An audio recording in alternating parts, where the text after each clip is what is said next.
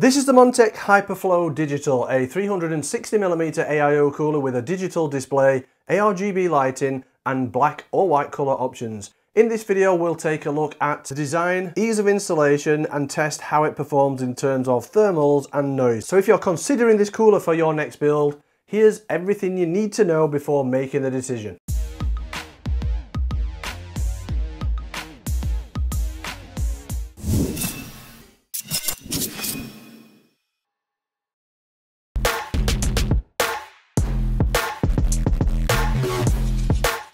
So this is the Montech Hyperflow Digital. It's available in two different sizes. You can get it in a 240mm radiator version or a 360, which is the one that we'll be having to test. You can also get it in either black or white color options in both the 360 and 240 millimeter sizes. You can pick these up now from Scan in the UK. The 240 is priced at 75 pounds, either black or white, and the 360, that's under 100 pounds currently from Scan. And again, it's the same price whether you buy it in the black or white version. Hyperflow Digital features an integrated seven segment digital display that shows real-time CPU and GPU temperature, E28 ARGB performance fans with 800 to 2200 RPM PWM speed range. It's equipped with a slim 27mm thick high density radiator available in 240 and 360mm form factors and wide socket compatibility Intel and AMD, pre-installed fans and thermal paste for easier installation plus a six year warranty. So this supports a really wide range of CPUs a lot of AIO coolers now just support the most modern Intel and AMD desktop platforms, so Intel LGA 1700 1851 and AMD AM4, AM5. This supports all Intel sockets back to 115X, plus it supports AM3, AM4 and AM5 on AMD side. It's the same base hardware, so the radiator, the tubing and the pump, CPU block, etc. as the original Hyperflow ARGB and the Montech Hyperflow silent coolers, but it is equipped with the new digital display and these E28 ARGB fans. It's an aluminium radiator with a dense 20 fins per inch fin stack, 12 waterways, standard 27 millimeter slimline thickness. It's coated in very smooth and satin finish coating. It looks high quality, it's a nice finish. I like the look of that. And on the radiator, you have got the Montech logo on either side. So there's not too much branding on, but you do know it is a Montech cooler. At the radiator end, the tubing is fixed in position and it has some chrome trims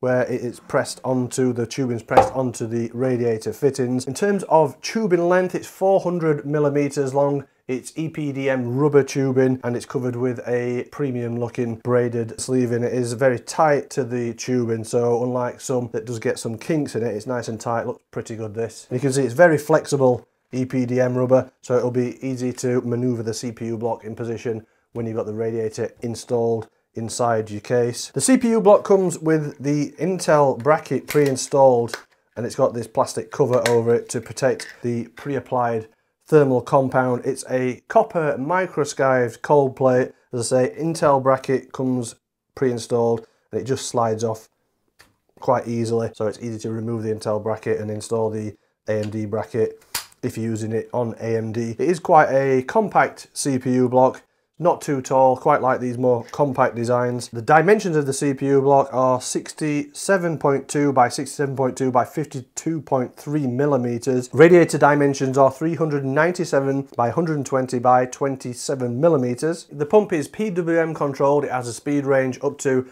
3100 RPM. At the CPU block side, the tubing enters the pump housing on rotary 90 degree fitting. So if you need to maneuver the tubing and position the tube in a certain direction. You've got plenty of movement on those. There's a lot of movement on those rotary fittings. On top of the CPU block, behind this really dark tinted plastic cover, is the digital display. It's a very basic digital display, but it is only quite a cheap cooler. It's very basic. It just shows CPU and GPU temperature. That's it. It's controlled by Montech's own software. The only option is to switch between CPU or GPU temperature. You can also show it in either Celsius or Fahrenheit, but it is very basic. There's no option to put a custom image or GIF or have the weather or a clock or anything like that on here. It is just for CPU CPU and GPU temperature readout. In terms of the fans, these are Montech's E28 ARGB fans, E28 28mm thickness 120 by 120mm fans with a PWM speed range of 800 to 2200 RPM maximum airflow of 96.27 cubic feet per minute maximum air pressure of 4.13 millimeters H2O and a maximum noise output of 36.25 decibels. They are equipped with opaque blades they illuminate with ARGB lighting once the cooler is powered up. Wiring is pretty neat on the fans because the daisy chained and then at the end they connect up to an extension which goes to just two standard 4 pin PWM and 3 pin 5 volt ARGB headers. So they connect directly to motherboard headers and it's same at the pump side. So it's a standard 4 pin PWM header for speed control and then a 3 pin 5 volt ARGB connection. One's male one's female. You can connect the fans to the male end and then connect up the female end to a motherboard header also at the pump you get a USB header connection so it's a standard USB to motherboard header connection and that's needed to power up the digital display. If you're looking for a new chair, then definitely go and check out boulies.co.uk. They offer a whole host of gaming and office chairs that come in a variety of different finishes and different colours.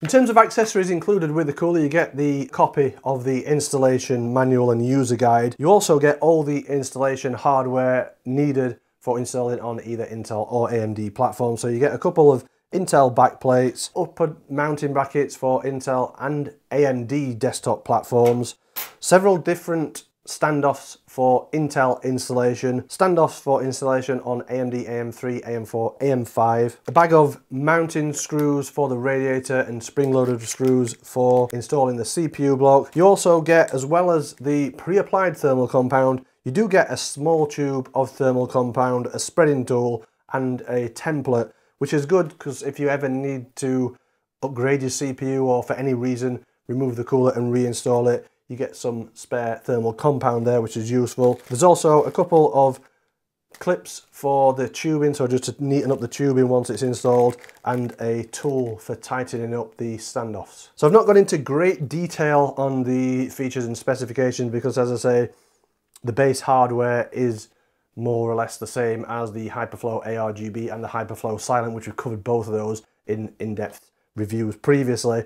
But I do want to look at the installation process quickly and obviously we need to take a look at the thermal performance of this new digital version. Our test system uses an ASRock Phantom Gaming X870E Nova Wi-Fi motherboard and an AMD Ryzen 9 9950X CPU, so I'll quickly run you through the installation process on AM5. First, remove the Intel upper mounting bracket from the Hyperflow digital CPU block and slide the AMD bracket in place. Now remove the stock AMD plastic CPU cooler retention brackets from the motherboard as these are not required for the installation. Then screw the the AMD specific Montech standoffs to the stock AMD backplate, there's a special tightening tool included for final tightening. And since the cooler comes with thermal compound pre-applied, there's no need to add any to the CPU IHS. Now lower the CPU block over the CPU aligned with the CPU IHS and standoffs. Tighten the CPU block in place using the provided spring-loaded thumb screws, tightening each screw in a cross pattern evenly and progressively for optimal contact. To connect the wiring, first connect the PWM cable from the fans to a motherboard PWM header usually labeled CPU underscore fan. Then connect the pump power cable to another PWM header usually labeled AIO pump or CPU OPT. Then daisy chain the fan ARGB cable to the pump ARGB cable and connect the other female end to a motherboard 3 pin 5 volt ARGB header. Finally connect the USB cable from the pump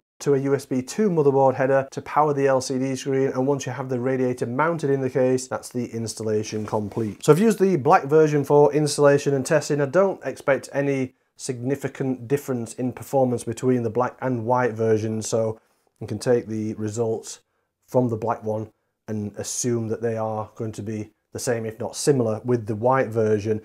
Installation as a whole is really simple. It uses all standard motherboard connections, so there's no additional RGB or fan hubs to install. You do have to install the Montech software, but it's quite clever. Once it detects that the cooler's been installed, it sends you to the correct page to download that. It's a very small piece of software, but you do have to have it installed for the digital display to work. The screen itself, it's okay, it's very basic in its function. It's also quite dim. I don't know whether it's because the tint on the plastic cover on top is really dark, but is quite dim. Also, the RGB lighting effects on the pump, they're also quite dim. But the installation process is really quick and simple. Even a novice should get this installed really quickly without any fuss. So now the cooler's installed in the test system, let's take a look at the thermal performance and noise output. If you prefer to see this review in written format, head over to kitguru.net where there will be a full written review for the Montech Hyperflow Digital. We'll start by looking at noise output as this will give us a good indication of performance based on noise. The 360mm Hyperflow Digital is very loud at maximum fan speed. A recorded maximum noise output of 57 decibels puts it right down at the bottom of our charts. It would be very distracting to use at this noise level. So work will need to be done tuning the fan curve to get the balance between noise and performance that suits you. There's good performance from the Hyperflow Digital at maximum fan speed though with an average recorded CPU temperature of 59 degrees Celsius which means it's up with some of the top performing coolers in this test. But it's much louder at max fan speed than some other coolers with similar performance such as the Arctic Liquid Freezer 3 Pro 420 and the Be Quiet Light Loop 360. Dropping fan speed to hit the 40 decibel noise limit requires a reduction of almost 50% PWM duty cycle, which means the fan speed is just over 1100 RPM. This has a significant effect on thermal performance, dropping the average to 64 degrees C, but it's still on par with other budget AIOs from the likes of Deepcool and will still provide enough cooling grunt for a powerful CPU like the 9950X. In the PBO test, the CPU frequency is automatically adjusted based on a target temperature, so the temperature temperature delta between coolers is close. It's the clock multiplier that's the important metric here. Since the PBO test runs at max fan speed, the Hyperflow Digital does well here with an average clock multiplier of 52.5 while cooling 255 watts package power, which equals the performance of some larger 420mm coolers, but again, it's extremely loud compared with some. So it really is a bit of a mixed bag this cooler. It is for a digital display equipped cooler, it is quite cheap at under £100 for the 360mm version. You can get it in the two different colour schemes, so it will suit either black or white builds. In terms of the build quality and finish and the looks of it, it looks good. Build quality is high. I do have some reservations about the display though. It is really dim for some reason. I prefer it to be a bit brighter, a bit easier to see what's actually on the display. It is quite difficult to see whether you're looking at the CPU or GPU temperature and the RGB lighting effects on the CPU block. They're also quite dim and I think it's all because of how heavily tinted that plastic top cover is. The actual function of the digital display it is very basic. So if you're thinking you're going to be able to get this and customize it to how you want it looking to match your system or to run some custom video or some custom image on there. It's not what this is about. It is just about displaying CPU and GPU temperature only, which is reflected in the price, I guess. It is very loud at maximum fan speed. The fans run up to 2,200 RPM, which isn't overly fast. There's plenty of coolers out there that run up to those kinds of speeds, but it is is very loud at 57 decibels.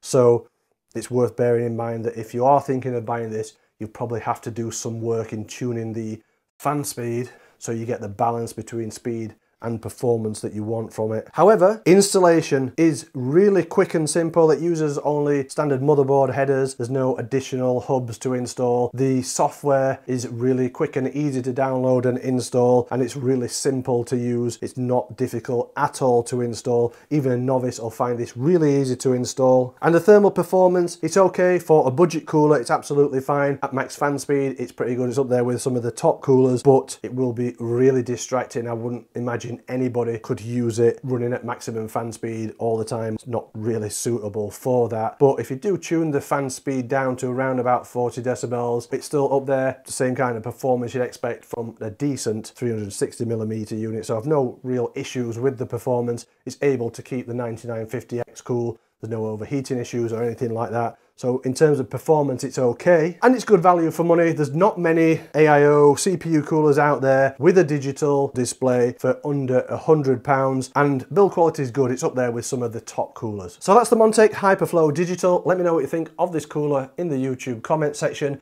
If you've enjoyed watching this video, don't forget to hit the thumbs up, subscribe to KitGuru if you've not already done so, and if you enjoy what we do here at KitGuru and you want to help support us, you can always head over to our store and pick up some merch or even subscribe to our Patreon.